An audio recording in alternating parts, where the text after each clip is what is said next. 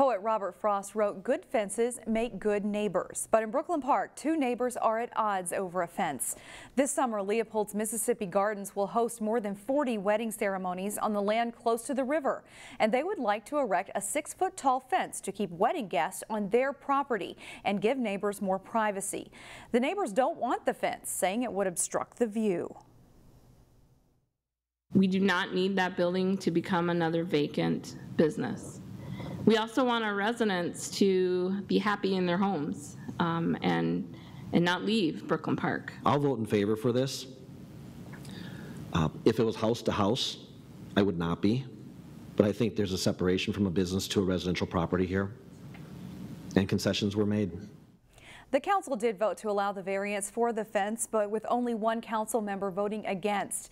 Both the business and the neighbors say they will go to mediation to help resolve the issue.